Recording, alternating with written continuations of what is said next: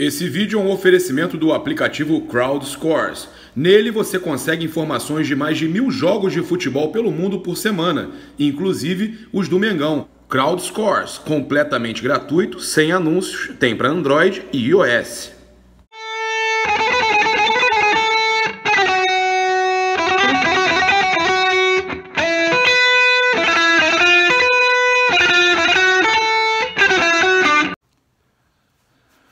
Fala aí galera, saudações rubro-negras, isso aqui é Flamengo. Ainda chateado com aquilo que a gente viu ontem em campo, aquilo não era Flamengo literalmente. Há muito tempo que eu não vejo é, um time do Flamengo é, jogando sem vontade de ganhar. É, o time do Flamengo ontem, mesmo quando o jogador foi expulso, é, deveria ter lutado muito. A gente já viu isso várias vezes, inclusive em partidas é, importantes como aquela contra o Palmeiras ano passado, lá na, na, na arena do Palmeiras.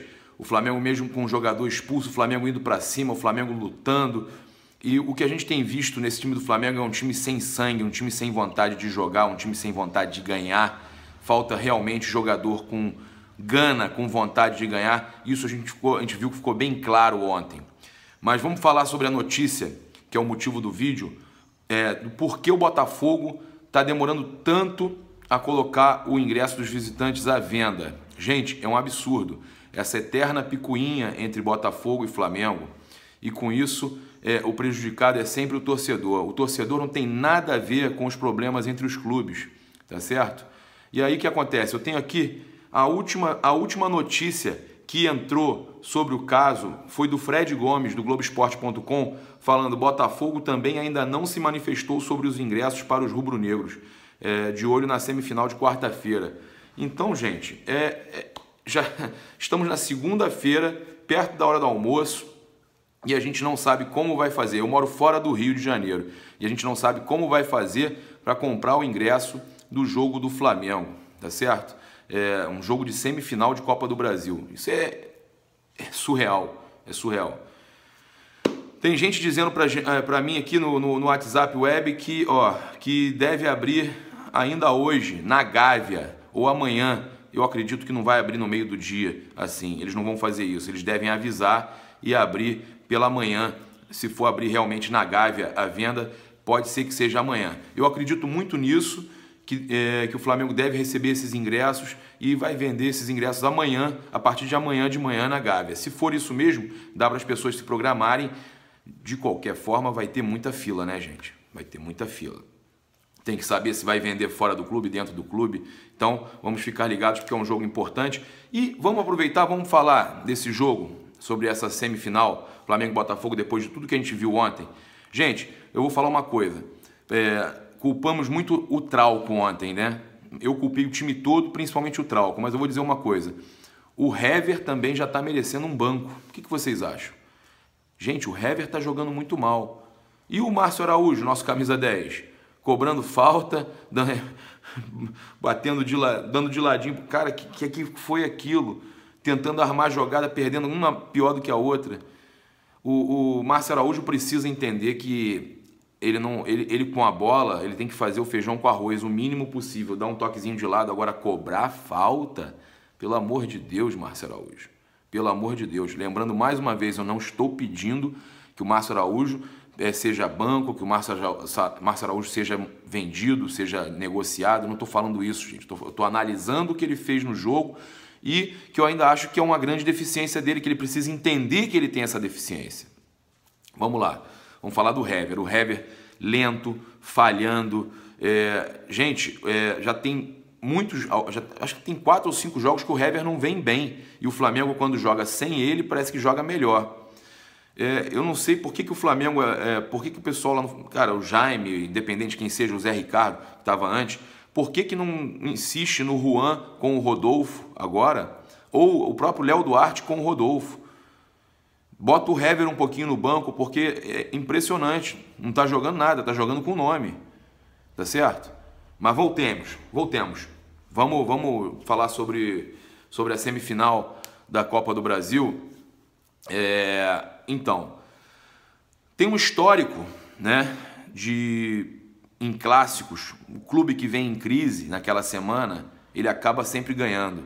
É, mu é muito comum isso acontecer. O clube que vem em crise, ele ganhar o jogo, né? É um jogo decisivo. É... Eu, sinceramente, acho que é aquele jogo que pode ser o divisor de águas, né? Porque o Flamengo briga ainda por dois títulos importantes, que é a Copa do Brasil Sul-Americana. E eu acho que esse jogo, se não motivar dessa forma, se não motivar para esse jogo, não motiva para mais nada. É, queria muito que o Rueda já pudesse é, treinar esse time para quarta-feira. Acho que é complicado essa, essa chegada dele agora e já já está fazendo alguma coisa para quarta-feira. Porém, é, ia ser importante que ele já, e acredito que pode ser que isso aconteça, dele já ir para o vestiário e, quem sabe, fazer uma preleção, conversar com os jogadores.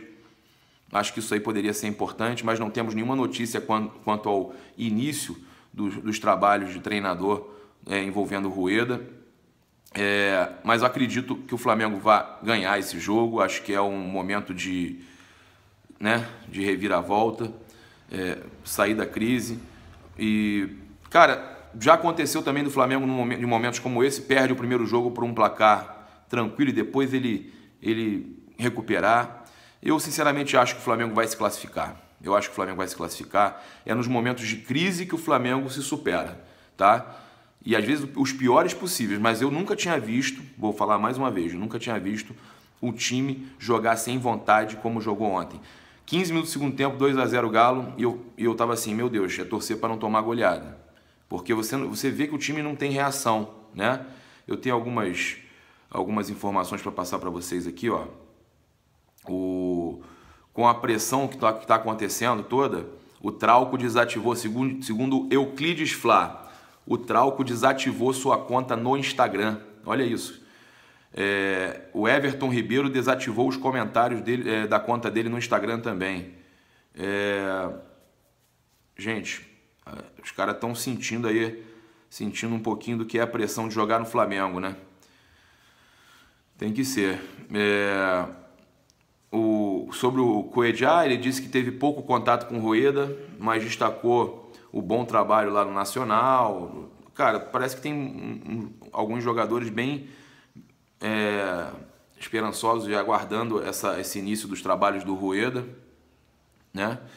É, eu tinha uma coisa para falar para vocês, o seguinte, sobre a questão que foi muito badalada aí, é, que o pessoal lá da Fox Sports falou que estavam os jogadores do Flamengo no aeroporto muito separados, o, o Trauco quase chorando, é, e, e, que começou a surgir uma questão de que o, o Flamengo está rachado e que tem grupinhos no Flamengo e tal. Eu venho falando isso há muito tempo, tem alguma coisa estranha acontecendo com esse elenco, tá? Tem alguma coisa estranha acontecendo com esse elenco. Mas é, eu vou falar, fazer uma análise do que eu penso sobre uma pós, um pós-derrota, tá?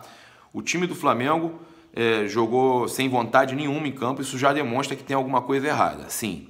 Mas um pós-derrota é muito comum que você veja os jogadores ali, cada um do seu jeito, cada um reage de um jeito à derrota. Não adianta exigir que todos é, reajam da mesma forma, né? Então cada um reage de um jeito. Eu, sinceramente, é, é, acho que não é isso que vai mostrar pra gente. Achei até muito bobo. Achei boba essa, essa essa explicação, essa demonstração de que tem alguma coisa errada. Não, aquilo ali não mostra que tem coisa errada.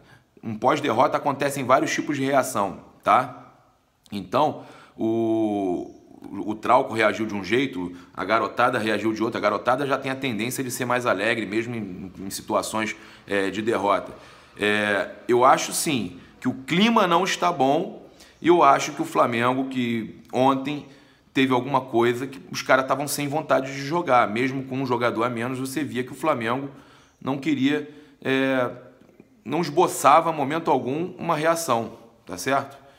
É, eu estou aqui a cada 10 minutos procurando saber. É, procurando saber alguma coisa sobre os ingressos Flamengo e Botafogo, mas a gente não, não consegue. É, eu, como eu falei para vocês, é bem provável que seja alguma coisa amanhã vendido na Gávea e aí todo mundo correndo para lá. Deus nos acuda para ver quem consegue garantir o seu ingresso primeiro. Bem, eu vou falar com vocês aqui sobre a questão dos dois canais. Aquele canal menor, que tem quase 50 mil inscritos. Se inscrevam lá, o Paparazzo RN Live. É o canal que a gente está fazendo os ao vivo, né? Estamos fazendo lá no Paparazzo RN Live. E aqui os vídeos gravados. Bem, é, eu tive muitos pedidos tá, nos comentários e muitos pedidos lá na, na, na live também, no, nos comentários durante, no chat, no chat, né? É, pessoas reclamando, cara, para de fazer superchat, para de fazer superchat, tá muito chato.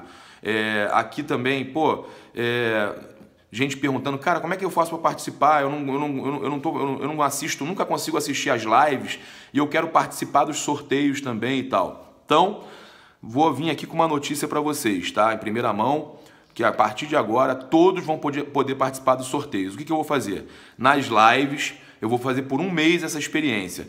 Nas lives, eu não vou colocar ativado o superchat. O superchat vai ficar desativado. Todos vão conversar normal, todos vão ter as perguntas de cada um que eu vou ler, vão ter, é, vai, vai haver democracia, tá? Eu vou fazer esse teste por um mês, ver como é que funciona eu vou deixar rolar a democracia no superchat, no sem superchat, a democracia no ao vivo. Então eu vou ler as mensagens de quem eu conseguir ler, independente de você botar dinheiro para você para eu ter para eu ler uma mensagem melhor. Eu não vou de, eu vou deixar isso desativado, é, até porque eu não, não sou interesseiro, não quero. Vamos vamos fazer um teste com isso. Se as pessoas não gostarem, acharem que querem é, ter o direito de fazer o superchat para falar comigo, eu reativo isso daqui a 30 dias. Mas vamos fazer esse, esse, essa questão, esse teste. E aí, como que eu vou fazer o sorteio? Até porque tem muita reclamação também com relação ao sorteio. O pessoal quer saber se é, se é transparente, se é real. E, e, ah, porque você, como é que faz? A contagem estava errada, não sei o quê. Então vamos fazer o seguinte: para não ter errada, eu entrei no site Rifa Tudo, Rifa Tudo. E aí eu vou fazer, vou anunciar aqui, já nos próximos vídeos eu já vou anunciar a rifa da, é, vai ser, o sorteio vai ser através de rifa para ajudar o canal nas viagens, nas coberturas e tudo mais. Eu vou sortear é, rifas de cinco reais, tá certo? Cada pessoa vai comprar uma rifa de cinco reais é, e aí vai ter o, o, o prêmio. Eu, o primeiro prêmio eu já defini que vai ser no dia 31, tá? Se a, a rifa vender muito rápido, eu boto mais uma, eu boto mais uma, eu vou colocando. É, o primeiro kit vai ser uma camisa oficial do Flamengo 2017, um boné oficial do Flamengo 2017 e um copo do Ronaldo Angelim autografado. Esse é um kit, tá? Cada pessoa que comprar uma rifa de cinco reais vai poder concorrer a esse kit, tá? Que vai ser o sorteio no dia 31 pelo site do UOL, que é o Rifa Tudo, tudo certinho, pague seguro, é, eu, eu, vou estar totalmente é, livre de qualquer, qualquer questão, totalmente transparente ali o sorteio, totalmente é rifa realmente. Então, beleza. Então, vamos lá, tem mais uma outra questão importante. É, a Júlia Matos, aquele, a, a, amigona nossa, parceira nossa, está inclusive nos nossos parceiros aí do lado, vocês podem ver nos parceiros do canal. Júlia Matos com dois T's. Ela me avisou que está querendo chegar logo aos 15 mil inscritos. Então, eu propus a ela o seguinte: é, assim que ela chegar aos 15 mil inscritos, aos 15 mil inscritos, até para estimular ela, eu estou torcendo por ela. Assim que ela chegar aos 15 mil inscritos, galera, então vamos todo mundo lá se inscrever agora. Ela chegando a 15 mil inscritos, eu vou sortear uma camisa oficial do Flamengo.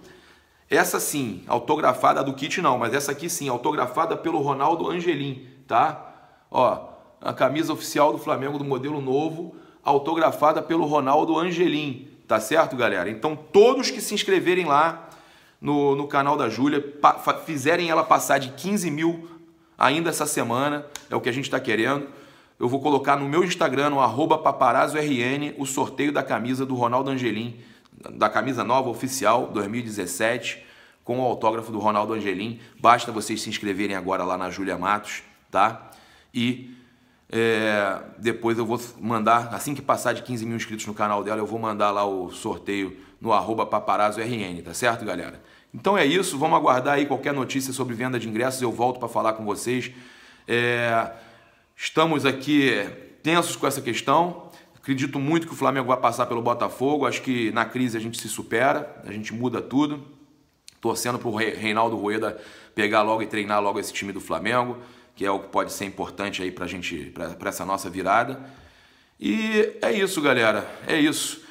Digam aí nos comentários o que vocês acharam dessa ideia da rifa ao invés de deixar superchat. Eu acho que é, o, o, os ao vivo vão ficar um pouco mais dinâmicos, mais é, legais, sem aquela interrupção de superchat. E eu vou dar a chance dos sorteios do mesmo jeito, cartão, da forma que vocês quiserem, e todos vão poder participar nos dois canais. Queria saber a opinião de vocês, o que vocês acharam. Então é isso, galera. Saudações rubro-negras. Isso aqui é Flamengo. Vai encarar? o link para baixar Crowd Scores encontra-se na descrição.